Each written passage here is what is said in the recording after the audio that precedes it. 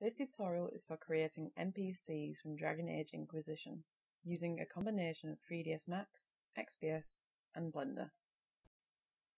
First I will show you how to extract the head, eyes, and eyelashes using Dragon Age Inquisition Mod Maker, then import them into 3ds Max and apply them to a base mesh.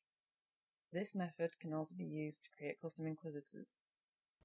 However, you need to extract them from the game. First loading the game with Ninja Ripper, and then loading a save game with the Inquisitor you want, and then following the same steps in this video. If you want to extract NPCs from DLC then use 0.18, as the early versions cannot do this. However, if you want to extract meshes, then use an earlier version as 0.18 moves all bones to position 0. Dragon Age Inquisition mod maker also mirrors models, so now the release of Frosty Editor is advised to use that for exporting meshes, as it does not mirror them. Also, it's in the more friendly format of FBX, which can be easily imported into 3ds Max and Blender. For both, I advise to export on FBX 2014 in Frosty Editor. This is the output directory where our models will end up when using Ninja Ripper to get them. Do not rename until after you are finished. Headmorphs are found in Data, DA3, Design Content, Headmorphs. I'm extracting Scout Harding for this tutorial. She is found in Skyhold. It may take some time to show the preview. I edited out the weight. Don't worry, it should load at some point. This is not how the character looks in game. However, I can assure you that this is correct. This is what the mesh looks like without bone movement. In game what you see is this mesh with bones moved as well. This goes for all characters, not just NPCs, your Inquisitor included. My rip key is Control plus 1, and that is what I changed it to. This is what I will be pressing to rip the mesh from the Dragon Age Inquisition mod maker. You usually can tell when it's ripping. In this, the mesh goes wonky. Once it resumes its original shape, then it is done. Now I am loading Noesis. I'm loading it to check the meshes it ripped. As sometimes in Dragon Age Inquisition mod maker, it does not rip everything we need and we need to then rip once or a few more times. In this case, looking at the folders with what I extracted the first time, I can see that the eyelashes are missing. So I rip from the preview once more and check to see if it has now ripped the eyelashes.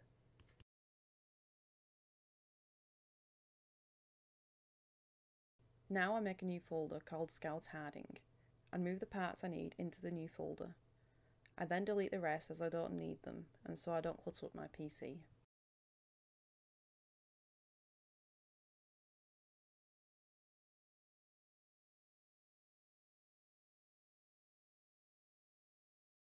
Quickly showing you that I've got all the three meshes that I need.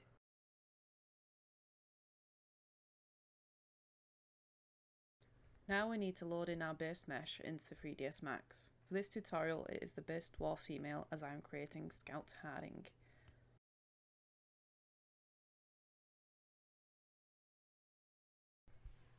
This is what it looks like once we import the base mesh. Now we need to hide all the bones so we can see the mesh properly while we work. I am doing this by selecting all three mesh parts, then right clicking and selecting hide unselected. Now I am zooming in just to show the base mesh. Now I select the meshes and hide them, but you don't have to do this. Next, we need to run GIMS evo in order to import the ripped meshes. Find the folder where our meshes are in and select. Then write in the file ID, which is the number of the ripped meshes. Then click import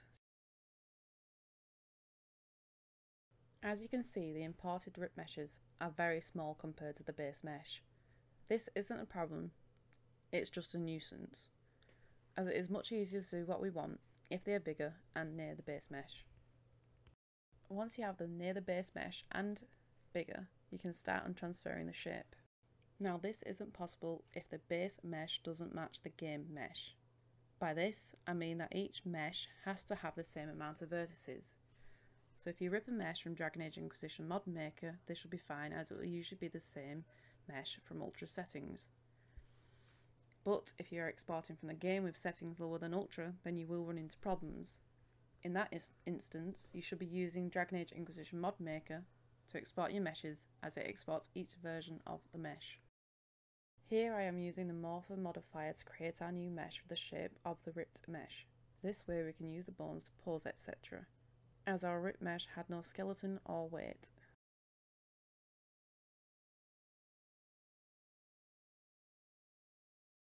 I can't say enough how important reference images are, not just for the edits of the mesh later, but for later when you create the texture. You can either keep the percentage to 100 or alter it. For this mesh I altered it to 50. However, likely in the future I would keep it at 100.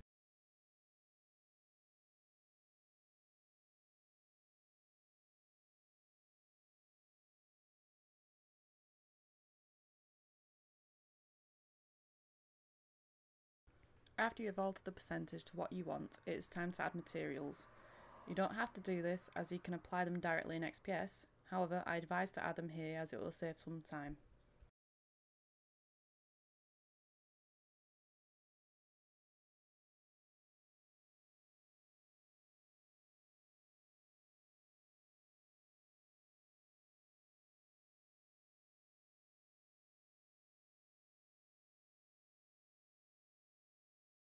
Standard material setup for the head and eyes is diffuse, light map, normal and specular. Then for lashes it is just a diffuse texture with transparency.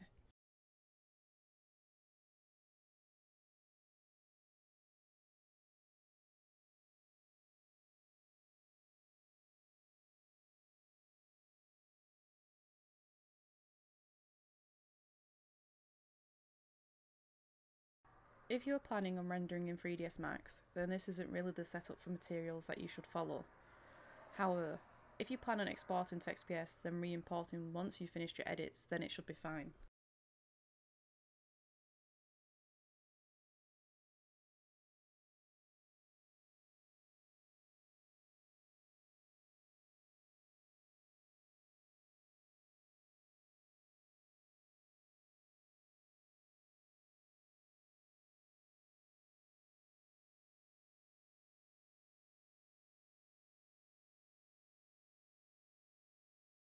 On, on the options of the XnaLara converter we need to turn off bone limits as most games these days exceed these limits.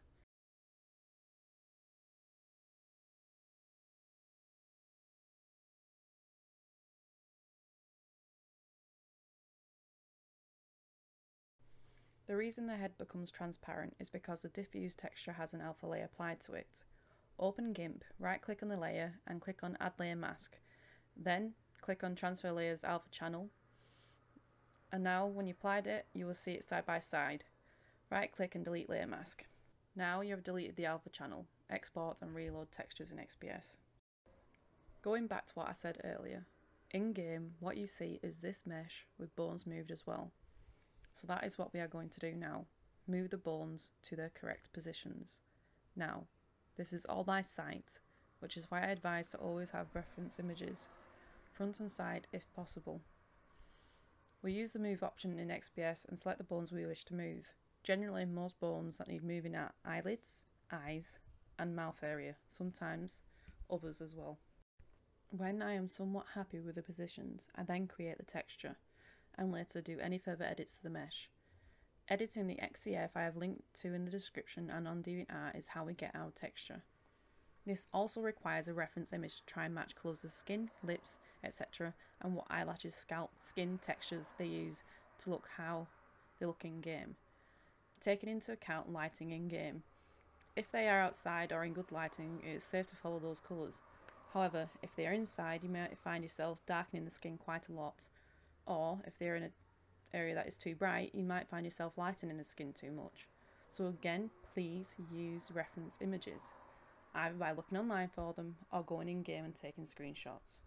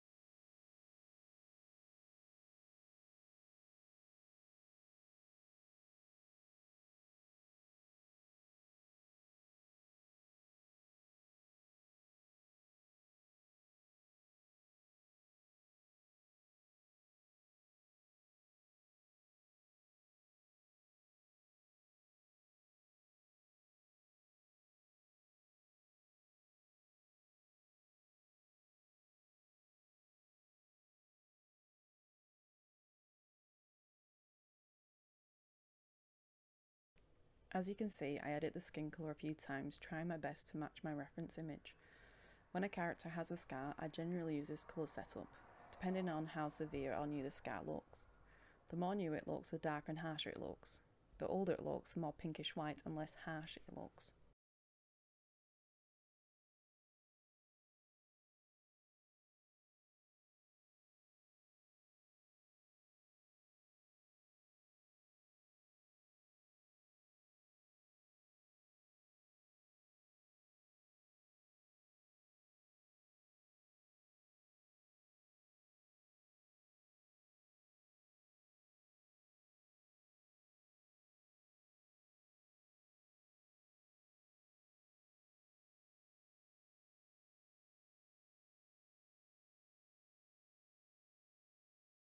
Now in order to make the scar look like it does in game, we also have to apply it to the normal map.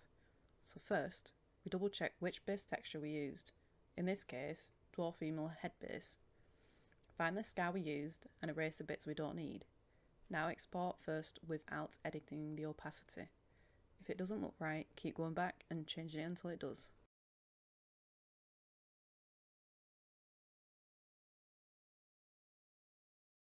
Exporting from 3ds Max makes the head split up into more than two pieces due to the quality of the mesh.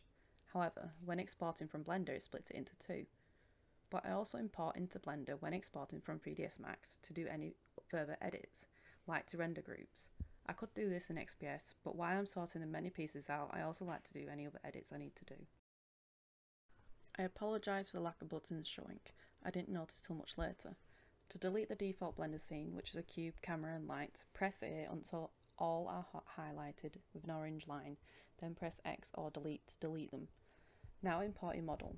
To select multiple meshes in Blender, press Shift and right click. To join those pieces together, press Ctrl and J. To select all and unselect all, press A.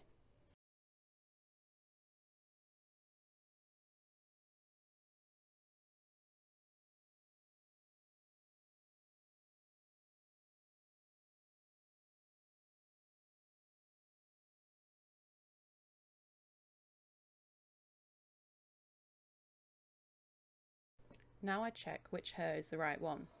During this time, I also decrease the size of the head so it fits into the hair. This is because the default size is bigger than my current Dragon Age Inquisition models. Once I am happy with where the hair sits, I can either join them in XPS by going to Modify and Export Scene as .mesh, or import the models into Blender and do it that way. I have another tutorial that shows the XPS route, so in this I will show how I do it in Blender.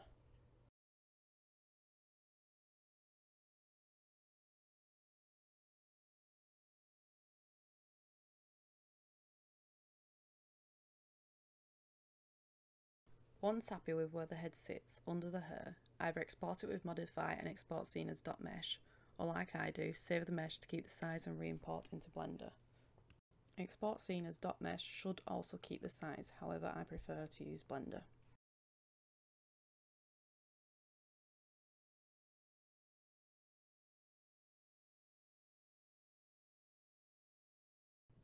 In Blender, to scale an object, press S, which will scale it on all axes. To scale on the X, Y or Z axis, press S, then X, Y or Z. Same for move, however press G and the desired axis. Also same for rotate, except you press R and the desired axis. Make sure the hair has the same armature as the head, otherwise it won't move in XPS or other programs. Also remember to delete the plus or the minus from the object's name so it shows by default. You can keep the plus if it is a plus, it still will show by default, but you can then also hide it in XPS with Ctrl and A. The final step for editing the head is colouring the hair to its right colour. You will likely go back and forth a few times from exporting to checking in XPS until you find the right colour, as it's not something you always get right the first time. The next step would be finding the body mesh and joining both together. This tutorial, however, does not show that. I hope this tutorial has been helpful. Thank you for watching.